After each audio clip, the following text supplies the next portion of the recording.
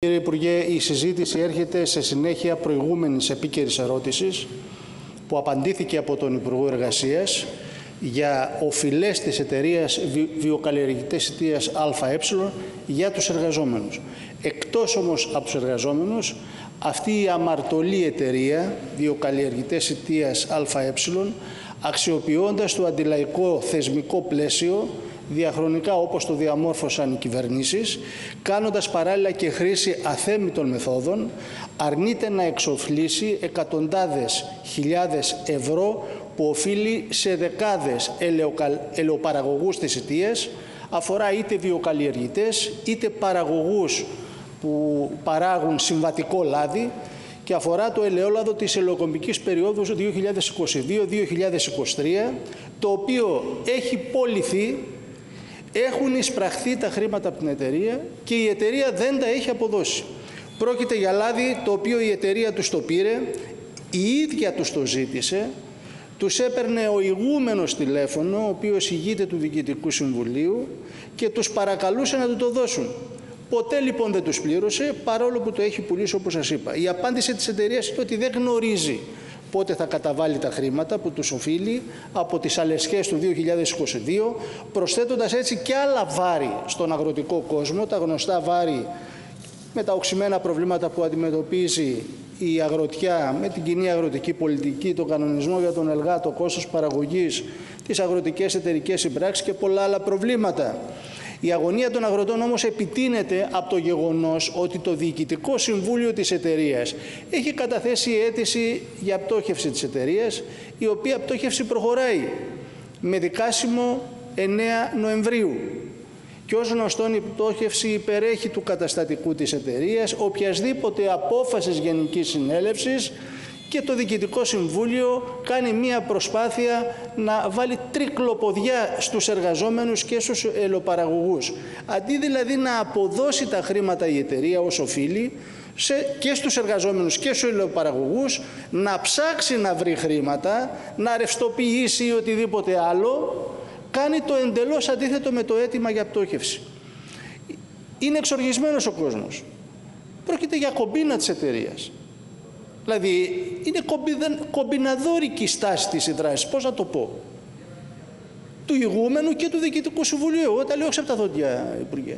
Η Μονίτοπλου, ο μεγαλομέτωχος της εταιρείας που ελέγχει το πλειοψηφικό πακέτο των μετοχών και έχει ορίσει διευθύνοντα σύμβουλο του ηγούμενο, ε, έχει τεράστιες ευθύνες, διότι αφού κάνει business σε βάρος των μικρών αγροτών, τους αντιμετωπίζει απλά ως προμηθευτές της ανώνυμης εταιρείας, που τους έτυχε η κακιά στιγμή των επιχειρηματικών αποφάσεων και των νόμων της αγοράς. Δεν είναι όμως η πρώτη φορά παρόμοιων πρακτικών του Διοικητικού Συμβουλίου της εταιρείας. Η διοίκηση έχει δώσει δείγματα γραφής από το 2017. Το τότε νέο Διοικητικό Συμβούλιο της εταιρείας, αυτό δηλαδή που είναι σήμερα, επικαλούνταν οικονομικά προβλήματα της επιχείρησης, φαινόμενα κακοδιαχείρισης, κακοδιοίκησης από την προηγούμενη διοίκηση επιδιώκοντας να φορτώσει τις συνέπειες και τις όποιες επιλογές της στους εργαζόμενους με ακύρωση συμβάσεων και υπογραφή νέων που θα προέβλεπαν μείωση των μισθών και διάφορα άλλα. Στις διαμαρτυρίες των εργαζομένων η διοίκηση προέβαινε σε τιμωρητικές απολύσεις λόγω συνδικαλιστικής δράσης, έστελνε εξώδικα, έστεινε απεργοσπαστικούς μηχανισμούς και πολλά άλλα για να τους τρομοκρατήσει. Προσέξτε τώρα, ο ηγούμενος της Μονίτοπλου ο οποίος είναι πρόεδρος του Διοικητικού Συμβουλίου της εταιρείας. Το ίδιο Διοικητικό Συμβούλιο τώρα, 7 χρόνια μετά, επιχειρεί με τα ίδια επιχειρήματα και τις ίδιες πρακτικές να φορτώσει τα βάρη στους εργαζόμενους και στους ελαιοπαραγωγούς. Το παραπάνω, όλα αυτά τα γεγονότα που σας αναφέρω τώρα είναι σε μια αλυσίδα αρνητικών εξελίξεων συνολικά στον αγροτικό κόσμο.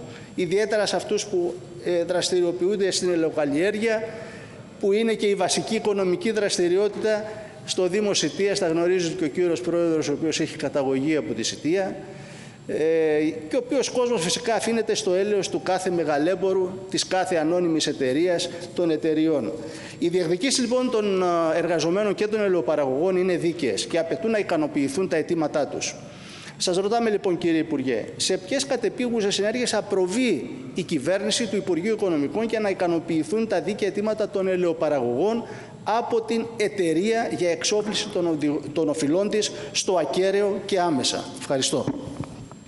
Ευχαριστούμε τον κύριο Τσιτικάτη. Παρακαλώ, κύριε Υπουργέ, έχετε το λόγο. Ευχαριστώ πολύ, κύριε Πρόεδρε. Κύριε συνάδελφε, ε, προερχόμενος και εγώ από έναν αγροτικό νομό, τον νομό Κορινθίας, που πράγματι έχουμε ε, και εμείς πολλούς ε, ελαιοπαραγωγούς, θέλω να σας πω ότι αντιλαμβάνομαι την σημασία του ζητήματος και την επιδίωξή σας να το αναδείξετε ακόμα περισσότερο κοινοβουλευτικά, αν και είχε προηγηθεί, όπως είπατε και εσείς, σειρά ερωτήσεων και επικαιρών ερωτήσεων προς τα συναρμόδια Υπουργεία. Από την άλλη όμως θέλω και εγώ να σας πω ε, με κάθε ειλικρίνεια και προφανώς ε, όλοι ευχόμαστε να βρεθεί ε, όσο το δυνατόν γρηγορότερα μια ε, λύση στο συγκεκριμένο ζήτημα. Νομίζω ότι το αντιλαμβάνεστε και εσείς είστε πολύ έμπειρος ε, κοινοβουλευτικός ότι οι διαφορές μεταξύ ιδιωτών δεν εμπίπτουν στην αρμοδιότητα της φορολογικής διοίκησης και ειδικότερα του Υπουργείου Οικονομικών. Άρα, στο συγκεκριμένο ζήτημα, στις ε, διαφορές μεταξύ ιδιωτών, δεν είναι αρμόδιο το Υπουργείο Οικονομικών να απαντήσει στη συγκεκριμένη ερώτηση. Ευχαριστούμε τον κύριο Υπουργό. Παρακαλώ, κύριε Συντεκάκη, έχετε το λόγο. Δεν μας άρεσε η απάντησή σας, κύριε Υπουργέ. Ήταν πολύ σύντομη και πετάω την μπάλα στην κερκίδα τότε τι, γιατί υπάρχει κυβέρνηση, γιατί υπάρχει Υπουργείο, πώς λύνει τέτοιου είδους υποθέσεις. Και θα σας πω παρακάτω γιατί συμπίπτεται και με άλλες παρόμοιες απόψεις άλλων που κάνουν πλάτη στο Διοικητικό Συμβούλιο της εταιρείας. Εδώ δεν είναι το γρηγορότερο δυνατόν ευχή, το γρηγορότερο δυνατόν να βρεθεί λύση. Να τους δοθούν τα λεφτά. Το πούλησε το λάδι. Το πουλήσανε. Φάγανε τα λεφτά. Πώς, δηλαδή πόσο πιο απλά να το πω πρέπει να τους επιστραφούν τα χρήματα. Είναι κάτι εκατοντάδες χιλιάδες ευρώ. Και η, η ζημιά είναι πολύ μεγαλύτερη. Δεν είναι μόνο τα ποσά που οφείλει, αλλά και το γεγονός ότι χωρίς χρήματα δεν μπορείς να ετοιμάσεις την επόμενη καλλιεργητική σοδιά. Με ό,τι συνέπειες μπορεί να έχει αυτό μακροπρόθεσμα. Ποιος θα τους αποζημιώσει για όλα αυτά; Και δεν είναι τώρα απάντηση, γιατί ακούστηκαν διάφορα, έτσι λειτουργεί η ελεύθερη οικονομία, ας τα βρουν αυτό που λέτε κι εσείς, οι βιοκαλλιεργητές με την εταιρεία κτλ. Δεν μπορεί να παρεύει το Υπουργείο κτλ. Λοιπόν, εμείς ως Κομμουνιστικό Κόμμα Ελλάδας δηλώνουμε την απόλυτη στήριξη στους ελαιοπαραγωγούς που αντιμετωπίζουν αυτό το πρόβλημα της απληρωσιάς από την πλευρά της εταιρείας και θέτουμε ορισμένα ερωτήματα. Δηλαδή, τίποτα, καμία παρέμβαση από την πλευρά του Υπουργείου. Ποια είναι η θέση σας, δηλαδή πώς... Είναι άλλο πράγμα τώρα αυτό που λέτε εσείς ότι ξέρετε δεν παρεμβαίνουμε ανάμεσα στους ιδιώτες και στην εταιρεία κτλ. Δεν έχετε άποψη σαν υπουργός. Δεν έχετε άποψη σαν κυβέρνηση. Για αυτή εδώ πέρα την ζημιά που έχουν υποστεί η ελαιοπαραγωγή. Και ποια είναι και η θέση του Δημάρχου κατεβαίνοντας και προς τα κάτω για να δείτε εδώ ότι ε, η ομερτά που υπάρχει σε όλα τα επίπεδα της κρατικής διοίκησης. Ποια είναι η θέση του Δημάρχου, ποια είναι η θέση της Δημοτικής Αρχής. Εδώ αρνήθηκε να κάνει δεχτό ψήφισμα της λαϊκής εισπήρωσης που απηχούσε τις επιθυμίες και τα αιτήματα των ελαιοπαραγωγών και των εργαζομένων. Μέσα στο Δημοτικό Συμβούλιο ήταν εκεί η ελαιοπαραγωγή, οι εργαζόμενοι και αρνήθηκε το Δημοτικό Συμβούλιο να υιοθετήσει ψήφισμα. Ποια είναι η σχέση η σχέση του Δημάρχου με τον ηγούμενο φυσικό και ηθικό αυτούργο αυτής της κατάστασης. Ε; Γιατί αρνείται να πάρει θέση ο Μητροπολίτης Ιεραπήτης και Σιτίας; Δεν μπορεί να κρύβεται πίσω από μία απάντηση που έδωσε η Μητρόπολη Ιεραπήτης και Σιτίας σε μια επιστολή των αεροπαραγωγών που τους κατέθεσε και να απαντάει ότι η διαφορά που έχει προκύψει είναι αποκλειστικά διαφορά μεταξύ ιδιωτών εντολέων και της κεφαλοϊκής εμπορικής βιοκαλλιεργητές ιτίας ανώνυμη εταιρεία και ως εκ τούτου αδυνατή να παρέμβει. Αυτό δεν είπατε και εσείς στην απάντησή σας. Δηλαδή ό,τι λέει η Μητρόπολη, η Εραπίδης και Σιτίας λέει και το Υπουργείο. Συμπίπτεται. Δηλαδή κάνετε πλάτες σε αυτή την κομπίνα. Λοιπόν, και η, η, η, η Μητρόπολη τώρα, η Ιεραπίνης και Σιτίας έχει το 44% των μετοχών. Είναι ο μεγαλομέτωχος της εταιρείας. Θα τα καταθέσω στα πρακτικά και την επιστολή των ελοκαλλιεργητών και την απάντηση της Μητρόπολης.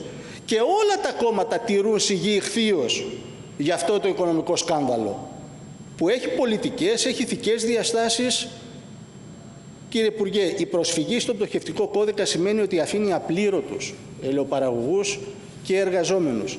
Διότι ο πτωχευτικός κώδικας, ο οποίος ψηφίστηκε εδώ στη Βουλή από κοινού, Νέα Δημοκρατία, ΣΥΡΙΖΑ, ΠΑΣΟΚ, πρώτα διασφαλίζει τα συμφέροντα της εταιρείας, τα συμφέροντα των τραπεζών, του ελληνικού δημοσίου, αφήνοντας ακάλυπτους τους ελαιοπαραγωγούς και τους εργαζόμενους.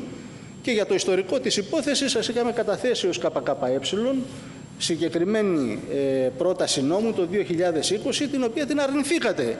Και φυσικά έκαναν το κορόιδο και οι υπόλοιπες πολιτικές δυνάμεις, ο ΣΥΡΙΖΑ, το ΠΑΣΟΚ κτλ. Λοιπόν, την ίδια ώρα που παρίσταναν και διαρριγνύουν όλοι τα ημάτια τους για τα συμφέροντα των εργαζομένων των λεωπαραγωγών, την ίδια στιγμή μέσα εδώ αρνείστε όλοι να υπερασπίσετε τα συμφέροντα του εργαζόμενου και των ελαιοπαραγωγών. Υπ' αυτή λοιπόν την έννοια εμείς θεωρούμε και απευθυνόμενοι περισσότερο στον κόσμο, στους θιακούς, στους φορείς της ηττίας, στους συλλόγους, στα σωματεία, ότι πρέπει να επαγρυπνούν και όλος ο κόσμος πρέπει να υπαγρυπνεί. Γιατί θα βρεθούν και οι ίδιοι στη θέση είτε ως αγρότες είτε ως εργαζόμενοι που θα τους παίρνουν τον μισθό, που θα τους επιβάλλουν μεγάλες ασφαλιστικές εισφορές, που θα τους απολύουν από τη δουλειά τους. Γι' αυτό ακριβώς το λόγο πρέπει να στηριχτεί αυτή η προσπάθεια, ο αγώνας των βιολοκαριητών που έχει ξεκινήσει μια προσπάθεια κατάθεσης αγωγών, προσφυγής στη δικαιοσύνη κτλ. προκειμένου να δικαιωθεί. Οι αγώνες που χάθηκαν είναι αυτοί που δεν δόθηκαν ποτέ κύριε Υπουργέ.